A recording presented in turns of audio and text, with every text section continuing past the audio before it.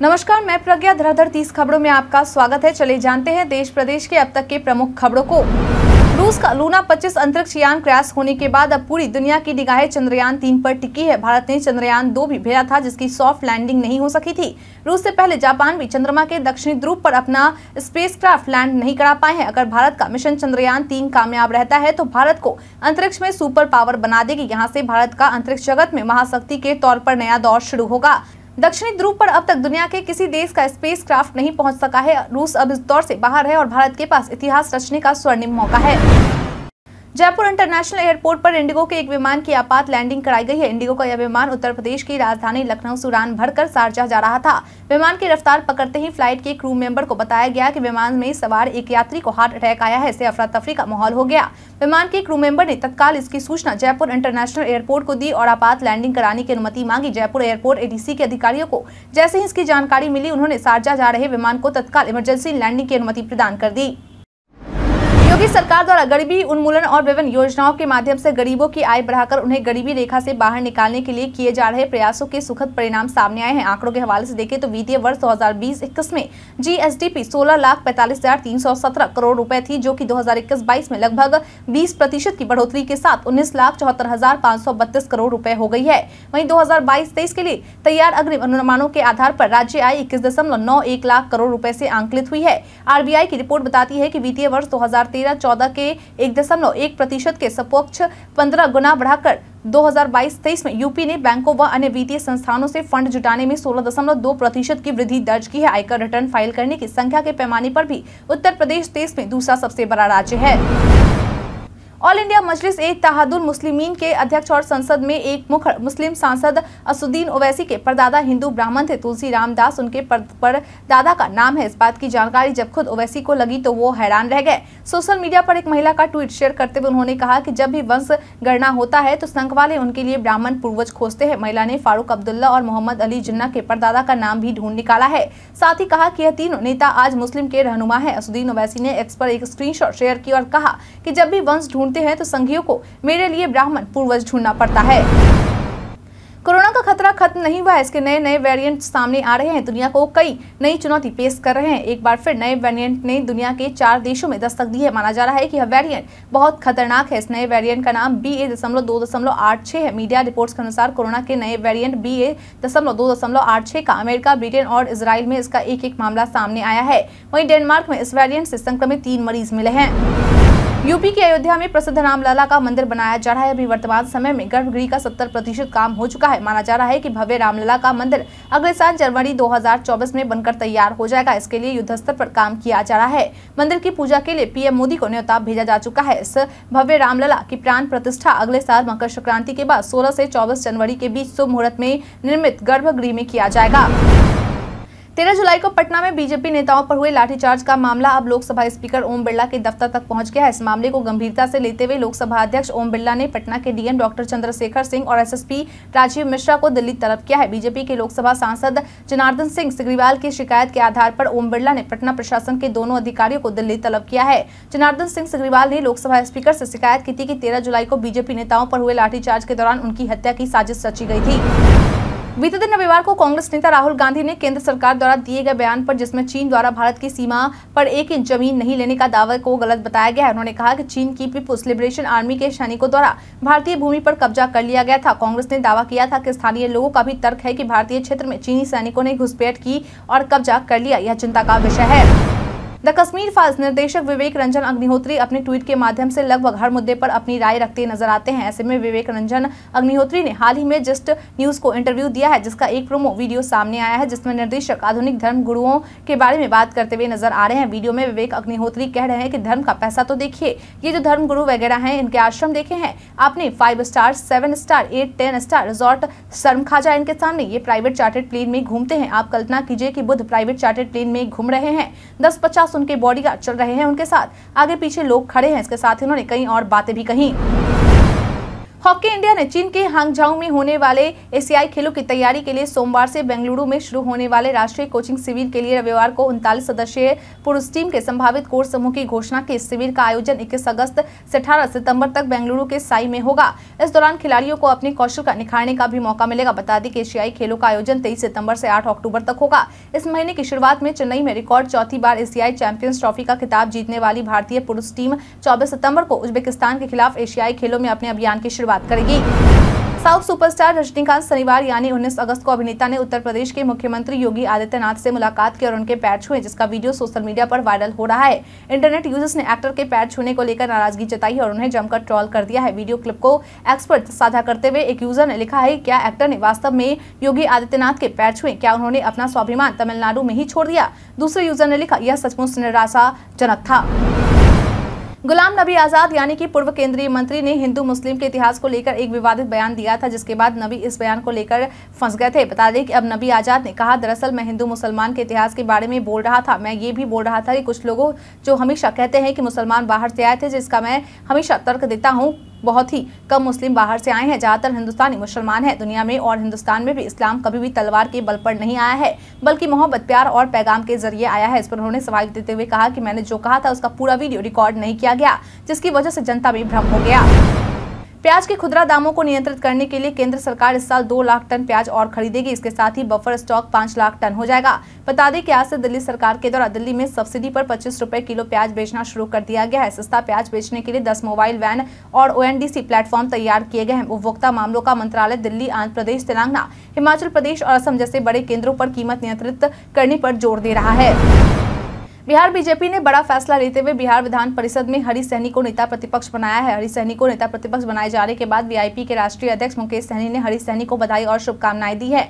उन्होंने यह नसीहत भी दी है कि ऐसा कुछ न करे जिसके कारण निषाद समाज के आरक्षण की लड़ाई खत्म हो। मुकेश सहनी ने कहा है की वीआईपी की निषाद आरक्षण संकल्प यात्रा से घबराकर भाजपा ने हरी सहनी को यह दायित्व सौंपा है। बता दें कि निषाद समाज गंगा लेकर कसम खा चुका है की यदि आरक्षण नहीं तो वोट नहीं। दरभंगा में एम्स निर्माण को लेकर केंद्र और बिहार सरकार के बीच चल रहे खींचतान के बीच रविवार को उप मुख्यमंत्री तेजस्वी यादव ने केंद्रीय स्वास्थ्य मंत्री मनसुख मांडविया को पत्र लिखा है। पत्र में तेजस्वी यादव ने साफ़ कहा है कि राज्य सरकार ने दरभंगा में जहाँ जगह चिन्हित की है, वहीं एम्स का निर्माण कराए साथ ही डीएमसीएच में अब जगह शेष नहीं रहने की बात भी की गई है। उन्होंने केंद्रीय मंत्री से अनुरोध किया है की उत्तर बिहार की जनता के व्यापक हित, राज्य में चिकित्सा सुविधा के सुदृढ़ीकरण हेतु एम्स दरभंगा की स्थापना राज्य सरकार द्वारा प्रस्तावित उपयुक्त भूखंड के प्रस्ताव को स्वीकृत करने पर शीघ्र ही सकारात्मक निर्णय लेने की कृपा की जाए। वर्ल्ड वाच इंस्टीट्यूट की नई रिपोर्ट में कहा गया है कि बढ़ते शहरीकरण और उच्च खपत के कारण भारत अब सबसे अधिक मात्रा में ठोस कचरा पैदा करने वाला शीर्ष देश दस देशों में है। प्रतिदिन लगभग छह लाख इक्कीस हज़ार टन ऐसा कचरा पैदा करने में अमेरिका सबसे आगे है। विश्व स्तर पर ठोस कचरा वर्तमान में एक दशमलव तीन अरब टन से बढ़कर दो दशमलव छह अरब टन होने का अनुमान है। इसमें कहा गया है की विकासशील देशों की तुलना में अमीर देश अधिक ठोस कचरा पैदा कर रहे हैं। शीर्ष दस कचरा पैदा करने वाले देशों की सूची में केवल चार विकासशील देश है, जिसमें ब्राज़ील, चीन, भारत और मैक्सिको। इसका मुख्य कारण उनकी शहरी आबादी का बड़ा आकार है और उनके शहरवासी उच्च उपभोग वाली जीवन शैली अपना रहे हैं। काशी विश्वनाथ मंदिर में दर्शन के लिए आने वाले दर्शनार्थियों की भीड़ की वजह से ज्ञानवापी परिसर में भारतीय पुरातत्व सर्वेक्षण सर्वे सत्रहवें दिन रविवार को लगभग एक घंटे देरी से शुरू हुआ। रोज की तरह टीम ने शाम पाँच बजे तक सर्वे किया। इस दौरान दोपहर में दो घंटे नमाज़ के लिए सर्वे रोका गया। एएसआई सर्वे टीम छह वाहनों में सवार होकर सुबह नौ बजे ज्ञानवापी पहुँची। श्रद्धालुओं को किसी तरह की असुविधा न हो, इसलिए पुलिस ने पहले से रास्ता खाली करा दिया था। टीम ने ज्ञानवापी परिसर में पहुंचकर पहले से तय स्थानों पर सर्वे शुरू किया। डेनमार्क के कोपेनहेगन में सोमवार से वर्ल्ड बैडमिंटन चैंपियनशिप की शुरुआत हो रही है। इस चैंपियनशिप में भारत के स्टार महिला खिलाड़ी पीवी सिंधु, युवा सितारे लक्ष्य सेन बेहतरीन फॉर्म में चल रहे एच एस प्रणय, किदाम्बी श्रीकांत हिस्सा ले रहे हैं। लेकिन सभी का ध्यान मेंस डबल्स की जोड़ी सात्विक साई राज, रैंकी रेड्डी और चिराग सट्टी पर होगा, जो इस समय शानदार फॉर्म में है। इस साल ये दोनों जमकर धमाल मचा रहे हैं और अगर वर्ल्ड कप चैंपियनशिप में पदक अपने नाम कर ले तो हैरानी नहीं होगी। नेशनल कॉन्फ्रेंस के अध्यक्ष फारूक अब्दुल्ला ने कहा कि केंद्र सरकार जवाहरलाल नेहरू और शेख अब्दुल्ला के नाम पर रखे गए संस्थानों के नाम बदल रही है, लेकिन उन्हें इतिहास से नहीं मिटाया जा सकता। फारूक ने कहा कि वे सरकार नाम बदलकर इतिहास नहीं बदल सकते। क्या वे इतिहास से शेख मोहम्मद अब्दुल्ला, जवाहरलाल नेहरू और महात्मा गांधी के नाम को हटा सकते हैं? समाचार एजेंसी के मुताबिक एनसीपी प्रमुख ने कहा कि उन्होंने किताबों से मुगल शासन के चैप्टर हटा दिए, लेकिन वे इतिहास से मुगलों को कैसे मिटाएँगे? उन्होंने कहा कि जब मेरे बच्चे और आपके बच्चे ताजमहल देखेंगे तो पूछेंगे किसे किसने बनवाया तो वे क्या कहेंगे? राहुल गांधी ने अपने लद्दाख के दौरे की कुछ तस्वीरें शेयर की। इसी तस्वीर को लेकर 2012 की कुछ तस्वीरों से तुलना करते हुए केंद्रीय मंत्री किरेन रिजिजू ने कहा कि केंद्र सरकार के शासनकाल में लद्दाख की तस्वीरें कितनी अच्छी और बेहतरीन हो गई है। इससे पहले राहुल गांधी ने यह भी दिखाया कि कश्मीर घाटी में पर्यटन कैसे आकर्षित हो रहा है और सभी को याद दिलाया कि हमारा राष्ट्रीय ध्वज अब श्रीनगर के लाल चौक पर शांतिपूर्वक फहराया जा सकता है। चंद्रयान तीन के लैंडिंग पर भारत के साथ साथ पूरी दुनिया की नज़र टिकी हुई है। वहीं भारतीय अंतरिक्ष एजेंसी इसरो ने विक्रम लैंडर द्वारा भेजी गई तस्वीर को शेयर किया है। इसरो ने ट्वीट कर बताया है कि विक्रम लैंडर द्वारा कुछ तस्वीरें भेजी गई हैं। चंद्रयान तीन मिशन के लैंडर मॉड्यूल में कक्षा में थोड़ा और नीचे सफलतापूर्वक पहुँचा दिया और इसके अब तेईस अगस्त को शाम छह बजकर चार मिनट पर चंद्रमा की सतह पर उतरने की उम्मीद है। अंतरिक्ष एजेंसी ने कहा कि लैंडर मॉड्यूल प्रस्तावित सॉफ्ट लैंडिंग से पहले अंदरूनी जाँच की प्रक्रिया से गुजरेगा।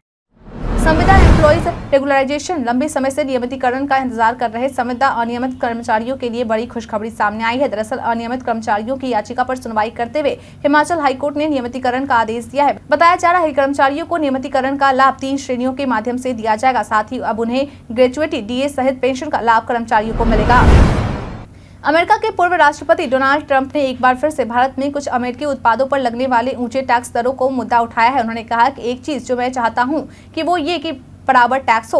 अगर भारत हम पर टैक्स लगाता है, भारत बहुत ज़्यादा टैरिफ लगाता है। मेरा मतलब है कि मैंने ये हार्ले डेविडसन के मामले में देखा है। मैं ये कहता था कि आप भारत जैसे जगहों पर कैसे काम कर रहे हैं। उन्होंने कहा अच्छा नहीं है सर। मैं पूछा, क्यों? उन्होंने कहा कि भारत में सौ फ़ीसदी, एक फ़ीसदी और दो फ़ीसदी तक टैरिफ है। अगर भारत हमसे दो फ़ीसदी टैरिफ वसूलता है और हम उन पर कोई टैक्स नहीं लगाते तो क्या हम उन पर सौ फ़ीसदी टैक्स लगा सकते हैं? क्या हम उनसे पचास फ़ीसदी टैक्स ले सकते हैं? अगर भारत हमसे कर ले रहा है तो हम उससे क्यों नहीं ले सकते? इन दिनों बिहार सरकार के शिक्षा विभाग के अपर मुख्य सचिव के के पाठक के द्वारा एक नया फरमान जारी कर दिया गया है, जिसके तहत बिहार के सभी स्कूलों के निर्माण कार्य पर रोक लगा दी गई है। दरअसल के के पाठक स्कूलों के निर्माण कार्य में खामियाँ पाए जाने के बाद नाराज़ चल रहे हैं और इसलिए उन्होंने सभी सहायक इंजीनियर, जूनियर इंजीनियर को आदेश जारी करते हुए स्पष्ट कर दिया है की अगले आदेश तक सभी स्कूल परिसर के निर्माण कार्य पर रोक लगा दिया जाए और साथ ही यह भी निर्देश दिया है की बिना अनुमति के किसी भी प्रकार का निर्माण कार्य अब विद्यालय परिसर के अंदर नहीं होगा। बीते तेरह जुलाई को बीजेपी नेताओं के द्वारा शिक्षकों की मांग और लैंड फॉर जॉब्स केस में चार्ज सीटेड होने के बाद तेजस्वी इस्तीफे की मांग को लेकर विधानसभा घेरने के दौरान उन पर पुलिस के द्वारा लाठीचार्ज किया गया था, जिसमें कई बीजेपी नेता घायल हो गए थे। ऐसे में अब इस मामले को लेकर लोकसभा स्पीकर ओम बिरला के द्वारा पटना के डीएम और एसएसपी को तीस अगस्त को दिल्ली में तलब किया गया है। मालूम हो कि इसकी शिकायत लोकसभा स्पीकर से लाठीचार्ज में घायल हुए बीजेपी सांसद जनार्दन सिग्रीवाल के द्वारा की गई थी। द्वारका एक्सप्रेसवे हाईवे को लेकर पिछले दिनों संसद में रखी गई नियंत्रक एवं महालेखा परीक्षक की रिपोर्ट को लेकर जोरदार हंगामा मचा हुआ है। इस बीच केंद्रीय सड़क परिवहन एवं राजमार्ग मंत्री नितिन गडकरी ने कहा है कि द्वारका का एक्सप्रेसवे हाईवे उनतीस किलोमीटर लंबा हाईवे है। हमने इसके लिए जो कैबिनेट नोट भेजा था, उसमें लिखा था की हम पाँच kilometre two lane pure shoulder road बनाएँगे और उसकी लागत इक्यानवे करोड़ रूपए आएगी। उसमें से रिंग रोड और फ्लाईओवर की कीमत एस्टिमेट डीपीआर बनने के बाद तय करेंगे। सब नोट में लिखा हुआ था, जिसे सी ने भी देखा। इस पर उन्होंने कहा की पचासी दशमलव पाँच किलोमीटर रोड के लिए आपने 250 करोड़ रुपए खर्च किया। आयकर विभाग ने एक आधिकारिक विज्ञप्ति में कहा है कि एडवांस रूलिंग बोर्ड दिल्ली और मुंबई में चालू हो गया है। इसके अलावा ई एडवांस रूलिंग की योजना, अग्रिम रूलिंग की पूरी प्रक्रिया को न्यूनतम इंटरफेस के साथ बनाने और अधिक दक्षता, पारदर्शिता और जवाबदेही प्रदान करने के उद्देश्य से शुरू की गई है। सीबीडीटी की विज्ञप्ति के अनुसार इन बोर्डो ने ईमेल आधारित प्रक्रियाओं और वीडियो कॉन्फ्रेंसिंग के माध्यम से सुनवाई करना शुरू कर दिया है। फोटोशॉप निर्माता अडोबी के को फाउंडर जॉन वर्नार्ड का 42 साल की उम्र में निधन हो गया। उनकी मृत्यु का कारण डिस्क्लोज नहीं किया गया है। जॉन वर्नांक ने उन्नीस सौ बयासी में चार्ल्स गेस्के के साथ अडोब की शुरुआत की थी। आज अडोब दुनिया भर में अपने कंप्यूटर सॉफ्टवेयर के लिए जाना जाता है। कंपनी के प्रमुख सॉफ्टवेयर है Photoshop Adobe Premiere Pro Adobe Acrobat आदि। उत्तर प्रदेश में पहली बार सीए चार्टर्ड अकाउंटेंट और सीएस कंपनी सेक्रेटरी के छात्र भी अब अपने नाम के आगे डॉक्टर लिख सकेंगे। छत्रपति शाहू जी महाराज विश्वविद्यालय प्रदेश में पहली बार सीए व सीएस को पीएचडी करने का मौका दे रहा है। सीएस जेएमयू का काम परिषद ने भी सीए और सीएस में पीएचडी कोर्स शुरू करने की अनुमति प्रदान की है। कार्य परिषद ने सीए व सीएस को पीएचडी के योग्य माना है और उसे परास्नातक का स्तर दिया है। नेशनल कैरियर सर्विस पोर्टल के आंकड़ों के मुताबिक पिछले छह वर्षों में निबंधित बेरोजगारों में सबसे अधिक 2017-18 में 26 प्रतिशत युवाओं को रोज़गार मिला है। बाकी रोज़गार के लिए राज्य या दूसरे राज्यों में चले गए हैं। साथ ही 2018 से 19 में 18 प्रतिशत, दो से 20 में 14 प्रतिशत, दो से 21 में 9.7 प्रतिशत, दो से 22 में 6.9 प्रतिशत, दो से 23 में तेईस प्रतिशत बेरोजगारों को रोज़गार मिला है। दो हज़ार में अब तक छब्बीस बेरोजगारों को रोज़गार मिल चुका है। हमारे द्वारा पूछे गए सवाल का आप लोगों में से बहुत लोगों ने जवाब हमें हमारे कमेंट सेक्शन बॉक्स में लिख कर दिया था, जिन्होंने हमारे द्वारा पूछे सवाल का जवाब दिया है। उनके नाम है नुनू गोलू कुमार मोहम्मद सकीर हुसैन, अनवर करीम खान, बाबूलाल मरांडी, नौशद अंसारी, धनंजय कुमार। अब बढ़ते हैं आज के सवाल की ओर। आज का सवाल है, आपके अनुसार रोज़गार बढ़ाने के लिए सरकार को क्या कदम उठाए जाने चाहिए? अपना जवाब हमें हमारे कमेंट सेक्शन में लिखकर ज़रूर बताएँ। आज के लिए इतना ही, धन्यवाद।